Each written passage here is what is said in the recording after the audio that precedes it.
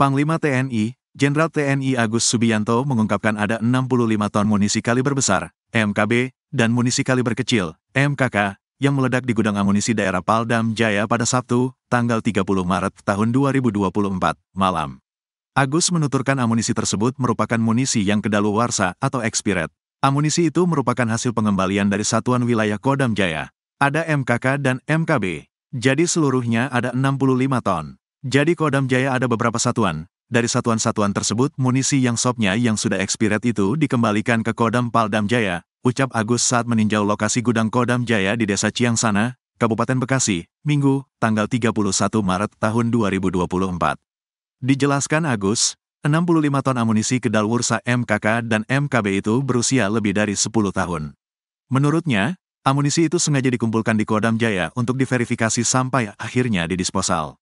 Ini dikumpulkan untuk diperiksa lagi, diverifikasi, ada langkah-langkah itu sampai dengan akhirnya didisposal, diledakan.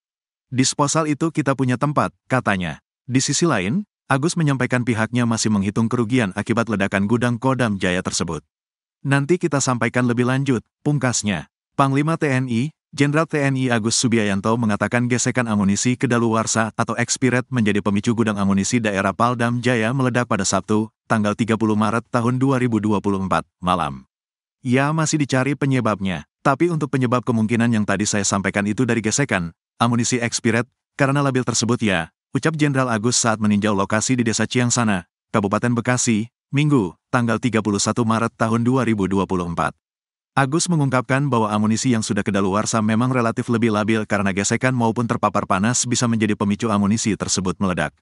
Memang kalau sudah expired itu relatif labil. Dia kena gesekan, kena panas pun mudah meledak, ucapnya. Agus menuturkan bahwa pihaknya memang sudah memiliki standar operasional prosedur, SOP, tersendiri untuk menyimpan amunisi kedaluarsa tersebut. Kita punya SOP penggunanya itu di bawah tanah. Karena labil tersebut sewaktu-waktu bisa meledak, itu sop kita penyimpanannya di bawah tanah dan ada tanggul jauh dari pemukiman warga, katanya. Ia menambahkan amunisi kedaluarsa itu tidak akan disimpan selamanya di gudang TNI. Nantinya, amunisi itu seharusnya dilakukan proses disposal usai dialkulam proses verifikasi. Namun sayang, amunisi kedaluarsa itu terlebih dahulu meledak sebelum dilakukan disposal.